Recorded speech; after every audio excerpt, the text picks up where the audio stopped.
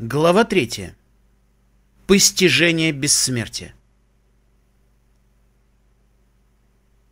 День был исполнен воодушевлений и тревог.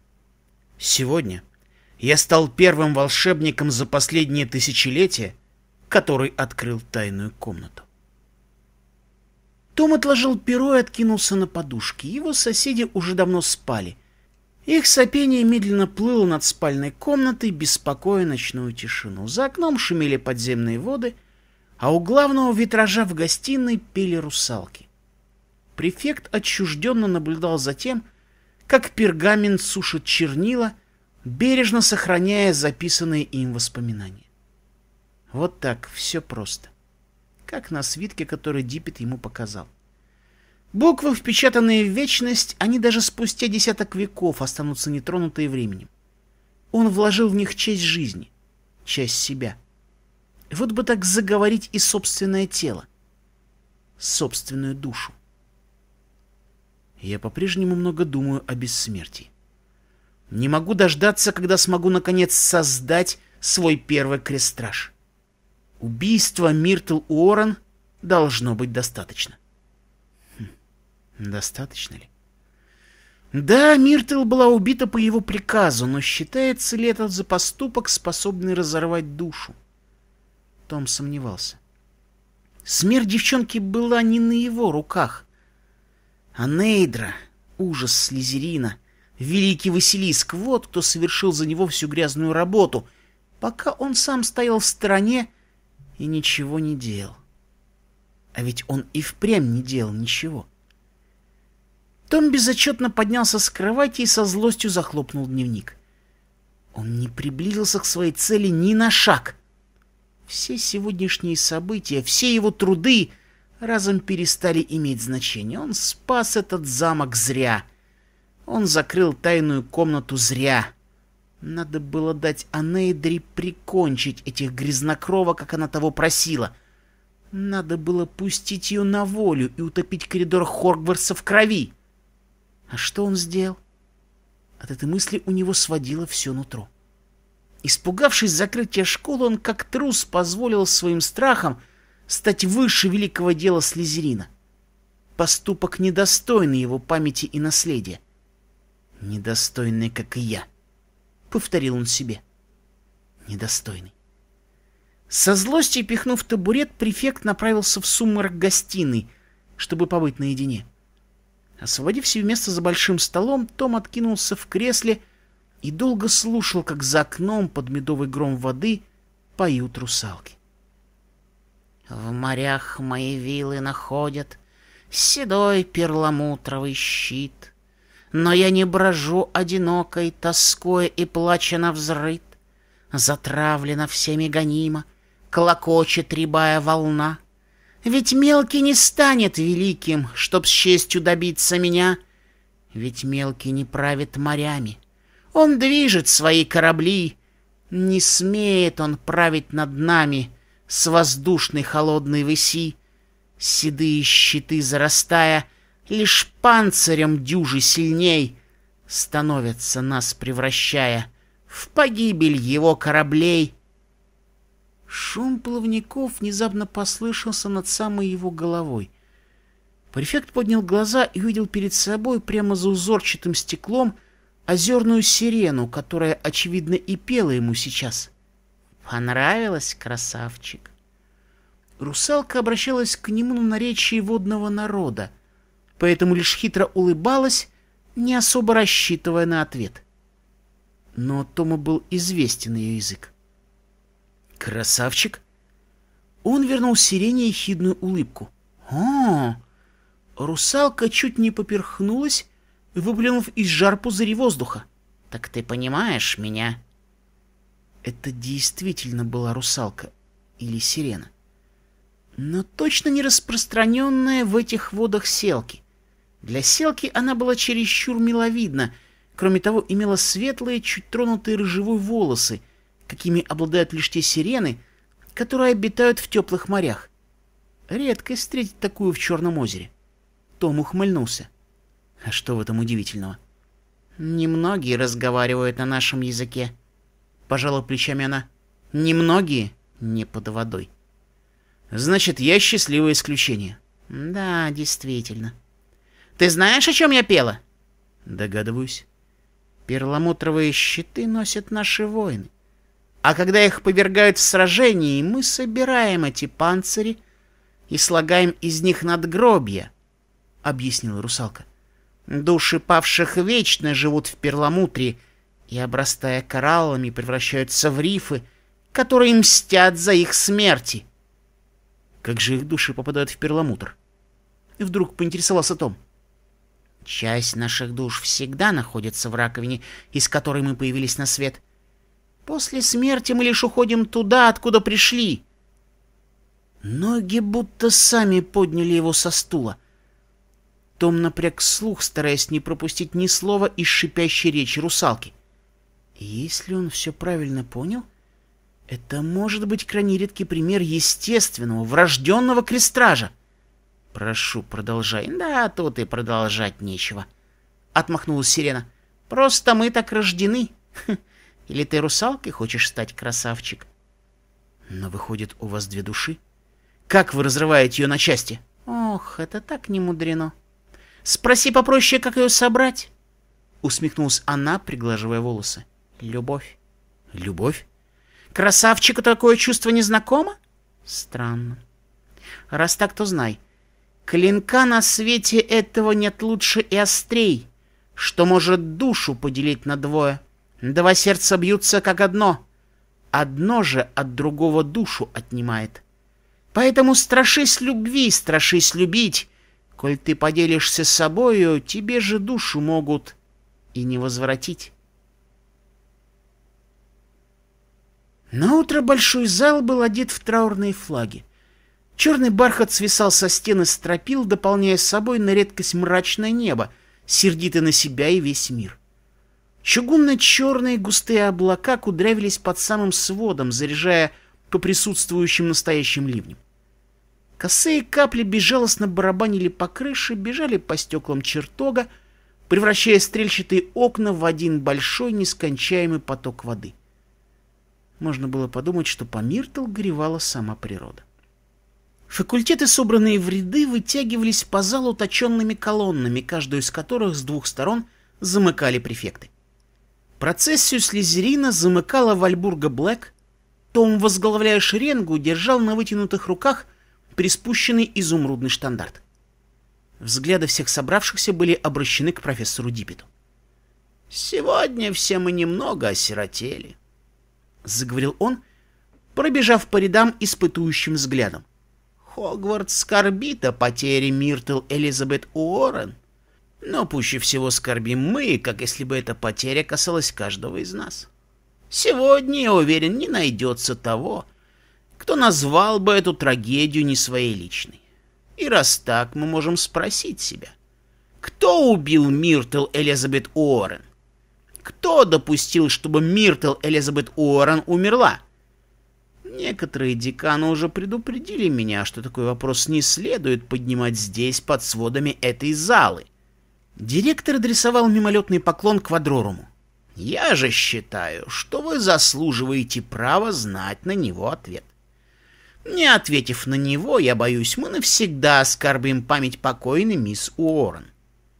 Лицо Диппета посуровело, и зал пронзила натянутая тишина. — Итак, знайте, что мисс Уоррен не была убита ни чьим-то злым заговором, ни темной магией, ни заклинанием.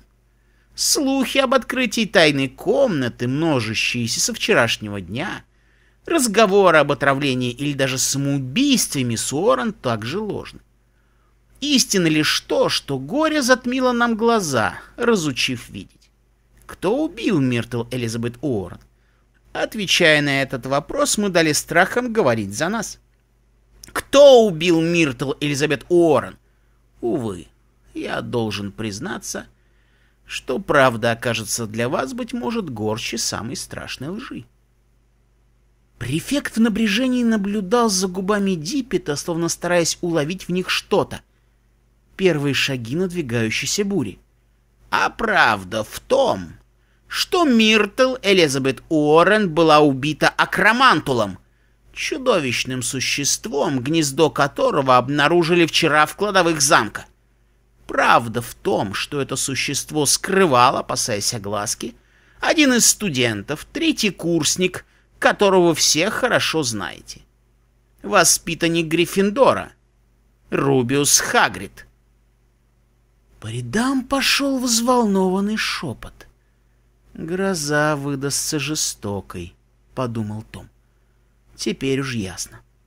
Со стороны Гриффиндора уже слышались возмущенные окрики. Кто-то даже посмел нарушить траур и покинул строй. «Этого не может быть! Это ложь! Встаньте в строй, мистер Колтрейн!» Шикнул на весь зал Уизли, рыжеволосый парень с широкими скулами. «У вас совесть есть? Тишина!» Объявил Диппет, взмахнув перед собой раскрытой ладонью. В мгновение ока все говорящие умолкли и схватились за глотки, обнаружив, что ни один звук больше не покидает их раскрытых ртов. Колтрейн, правда, еще продолжал по инерции шевелить губами, но смотреть на это было скорее больно, чем смешно. Он проиграл. Внушение подействовало. Смутьяны вернулись в строй.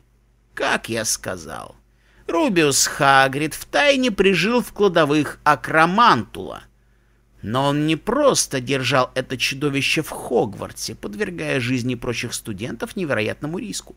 Хагрид, как мне стало известно от него самого, еще и выпускал монстра на волю. До сей поры этот зверь незамеченным бродил по замку, и лишь чудом его прогулки не оборачивались жертвами среди студентов. Пока, разумеется, не настало то злополучное утро вчерашнего дня. Том чуть не раскрыл рот от восхищения. Как виртуозно! Диппет не просто изобличает Хагрида. Он дает всем остальным прийти к этой мысли самим. Причем ненавязчиво, как бы между делом. Великолепно обыграно. Том едва сдерживал улыбку, которая так и просилась на лицо. Даже он сам не смог бы представить эту историю более убедительно. Вскоре от жестоких подробностей у многих подкосились колени. Оказывается, что Миртл Уоррен даже не была укушена. У бедняжки разорвало сердце. Стоило лишь увидеть этого огромного паука, забравшегося в туалетную кабинку.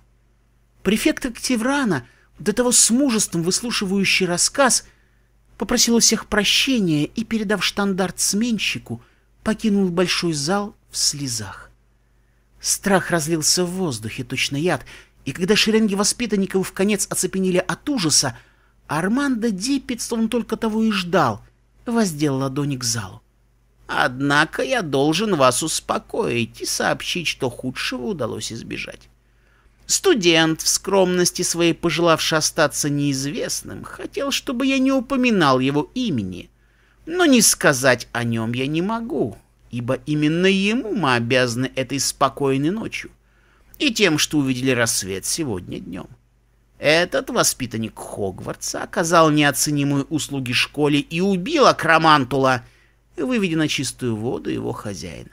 Именно он, рискуя жизнью, спустился вчера ночью в кладовые и арестовал Рубиуса Хагрида, избавив нас и от его чудовища. Имя этого человека всем вам знакомо и я исполнен гордости сообщить ему, что за проявленный героизм, находчивость и смелость он удостаивается высшей награды Хогвартса, медали за особые заслуги перед школой. Том Марвола Реддл. Шаг вперед. Ноги его как бы машинально двинулись к Диппету. При свете факелов на задней стене длинная зубчатая тень директорской кафедры — падал до самых дверей.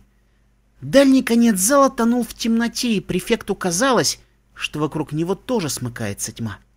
«Сэр, ум, прозорливость и амбиции. Вы в полной степени проявили все те качества, которыми так гордился Салазар Слизерин, выполняя свой долг перед школой. Хогвартс и я чрезвычайно вам обязаны. 250 очков Слизерину. У него перехватило дыхание. Ни один студент не получал так много очков с самого основания школы. Директор Диппет вышел из-за кафедры и лично поклонился ему. Вслед за ним Тому поклонился весь большой зал. В абсолютном молчании проходила эта сцена, ни один студент не посмел проронить ни слова. После церемонии, однако, молчание было нарушено. Слова хлынули, как вода из пробитой плотины. Слизеринцы окружили своего героя, закачали на руках, прочие же лишь пытались пробиться к нему как можно ближе. — Так ты убил акромантула, Том! Реддл, поздравляю! — Почему нам не сказал Реддл? — Реддл, погибель Акромантула! Кто-то взъерошил ему волосы и приобнял со спины. — Ну, привет, погибель Акромантула! — послышался знакомый голос Кэти Коутс, шипящий над ухом. — Так вот, чем ты ночью занимался, извращенец. Не смею осуждать твои вкусы, но понимать ли это так, что ты предпочел общество гигантского паука-людоеда встречи со мной. Я и сейчас бы предпочел оказаться в лапах паука-людоеда, нежели быть рядом с тобой, — хотел ответить префект. «Вы не надели траур, мисс Коутс», — заметил он ей. Кэти была облачена в летную мантию для квидича, ее нарукавники больно давили горло. «Вы меня задушить пытаетесь?» «Конечно, задушить, застранец!» улыбаясь, шептала она. Оставлять девушку ждать одну под луной? Да еще когда весь замок дрожит в страхе перед хрен пойми чем? Это очень не по-рыцарски, мистер Реддл. Чем же я могу исправить свою оплошность? Взгляд Тома был абсолютно невозмутим, хотя тиски Кэти жали его точно кольца питона. Раз уж мы заговорили об этом. Кэти мигом отпустила его горло и встряхнула руками, привлекая всеобщее внимание. «Слушайте все! Герой Слизерина хочет навестить нашу сборную, чтобы вместе почить память Миртл Уоррен и отметить победу над Акромантулом Хогвартским». Вслед ей клич подхватили и другие члены сборной факультета, пришедшие в числе последних на траурное поминовение. Префект пригладил свою взъерошенную челку и нехотя кивнул. Кэти расставила капкан здраво. Перечить воле своих однокурсников он не мог.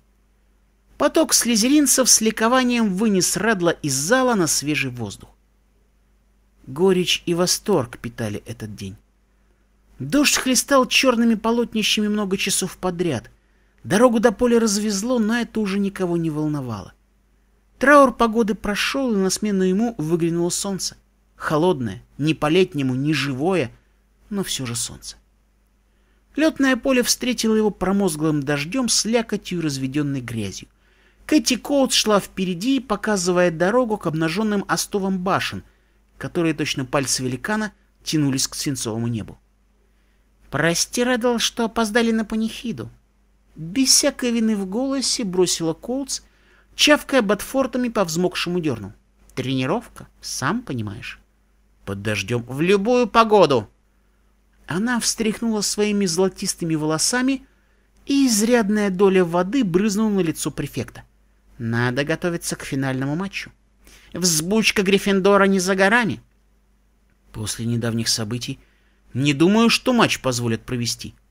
Заметил Том, вытирая влагу рукавом мантии. В свете траура. Ой, брось, Реддл. Не думаю, что эта когтевранка хотела бы, чтобы после ее смерти мы все грустно легли на травку и лили по ней слезы. Мисс Орен, может, и нет, а вот директор Диппет... Да, Реддл, а ты действительно зануда. Она выжила последнюю влагу из волос и отряхнулась, проходя под деревянным навесом на поле. Знаешь, сколько правил Квидича было нарушено во время первого Кубка мира? Семьсот. Семьсот одно, поправила Кэти. Последнее заключалось в том, что матч не разрешили проводить так как создатель Снитча Боумен Райт отказался предоставить свой драгоценный золотой шарик для игры. И как же они играли без Снитча? Ну, хм. когда они узнали об этом, команда Трансильвании просто взяла и затолкала этот шарик ему в «Избавь меня от подробностей». Когда они вошли в круг, сборная уже стояла перед ними в полном составе и приметлах. Гордость Слизерина. Это были самые отчаянные ребята на факультете. Брайтон Флинт, Кевин Ролсон, близнецы Кайрус и Клариса Кэрроу, широкоплечий Кен Яксли и, конечно, Винки Крокет, чей нос украшали изящные очки-велосипеды, а выражение лица неснимаемая высокомерная улыбка. Улыбка эта, однако, быстро увяла, когда он заметил префекта. «О, Реддл!» — посерьезнел он. «Чем мы обязаны?» «Как ты разговариваешь с погибелью Акромантула?» Демонстративно надула щеки Кэти. «Перед тобой герой Слизерина. Кстати, и наши 250 баллов тоже». «Привет, Том!» — запунцовела Клариса Кэрроу. Улыбка у нее была и впрямь славная, только не змеиная, как уверял Аспид. «Привет». «Что ж ты с стоишь, Крокет? Ты капитан нашей команды или нет?» Подзадорила Кэти, заминая возникшую паузу. «Давай, это не больно. Пригласи нашего префекта отметить это событие».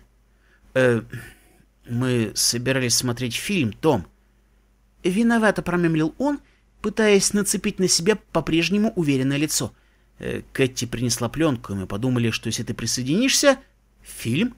Ну, движущиеся картинки, пояснил Роллинсон, зачесывая взмокшие волосы назад. Магловское изобретение, знаешь? Только картинки не зациклены, а как бы там целая история происходит, понимаешь? И звук есть, выпалила Кэрроу, заливаясь краской пуще прежнего. Непонятно, от тренировки или от присутствия Тома. Будучи в приюте Вуда, Том иногда ходил с группой в кино. Но это было беззвучное, немое кино. Грязно-желтое, потертое сепия и бегающие кадры под пианино. Впрочем, то было давно. Он уже лет десять не ходил в магловские кинотеатры. Маглы. От одного упоминания о них все его нутро съежилось, а в животе точно повернули нож. Благодарю, Крокет. Но я как-нибудь переживу еще одно магловское изобретение. Нет-нет, Рэддл, осадила его Кэти. Это не простое кино. В общем, ты сам все увидишь. Сомневаюсь. Префект собирался было повернуть назад, но вытянутая рука загородила ему путь. «Знаешь, что в мире маглов идет война?» Интригующе проворковала девушка. «Война?» «О, да! Кэти Коутс бесстыдно улыбнулась, встретившись с ним глазами. Зеленый лес против голубого моря. И ее начал один очень интересный магл, который произвел на нас впечатление. Магл произвел впечатление на слезеринца? Том хотел бы ослышаться, но выражение Кэти не оставляло сомнений. Это была не шутка. Кто же этот магл?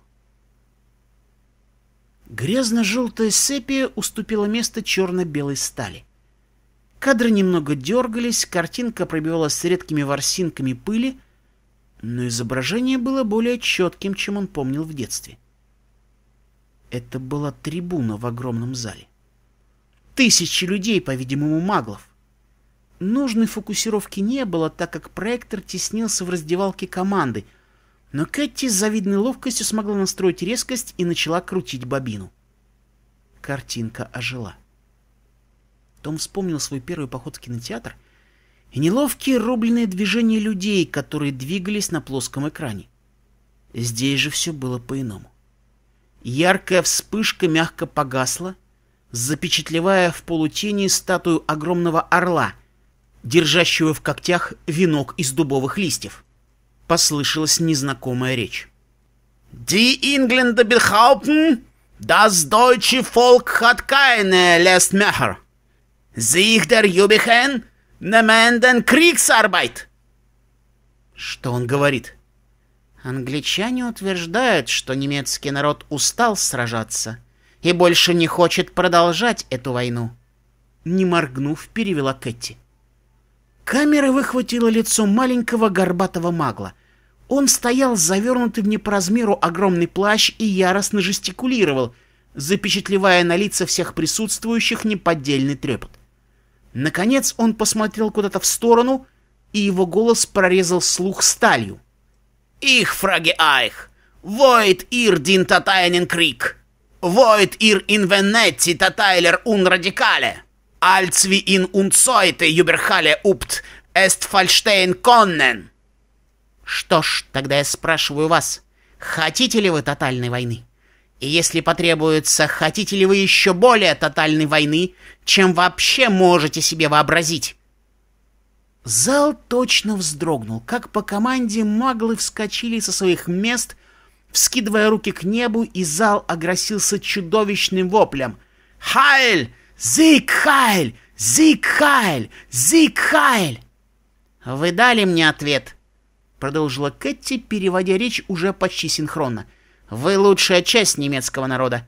И ваш ответ — это, несомненно, ответ всего немецкого народа. Поэтому силой и надеждой, лозунгом нашего времени отныне и навеки, до скончания лет, до тех пор, пока бьются сердца в нашей груди, станет «Воспрянь, народ, и пусть грянет буря!» «Воспрянь, народ, и пусть грянет буря!» В уши ударила искаженная пленкой музыка, и они запели. На некоторых лицах были слезы. Калеки, инвалиды с оторванными руками и ногами, на костылях, в колясках они тоже пели.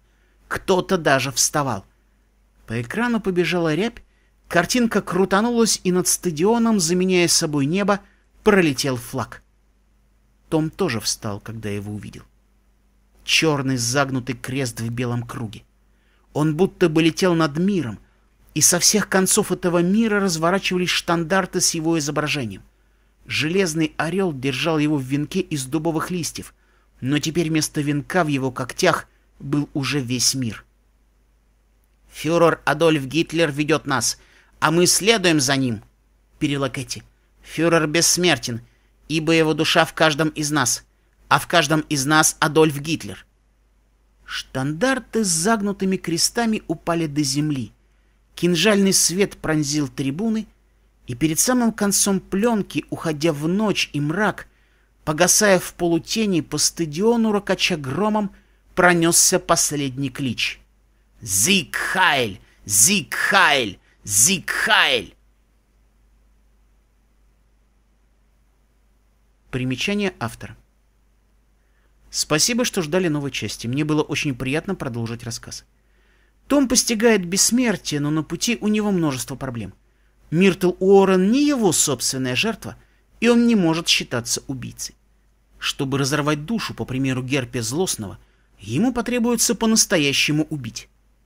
Или все-таки свой первый крестраж он создаст, не разрывая душу только этим образом? Я долго думала, почему только убийство в волховании презлейшем названо достаточно для разделения души. Ведь, скажем честно, в жизни есть вещи, которые делают это куда надежнее. В этой главе я постарался поразмышлять над этим и подкинуть Тому несколько интересных идей, которые, как полагаю, очень рельефно впишутся в его персонажа. Ну и, наконец, я добавил немного обещанной исторической атмосферы. Надеюсь, вы почувствуете в рассказе легкий налет сороковых, который лишь добавит той недостающей толики мрака ко всему происходящему.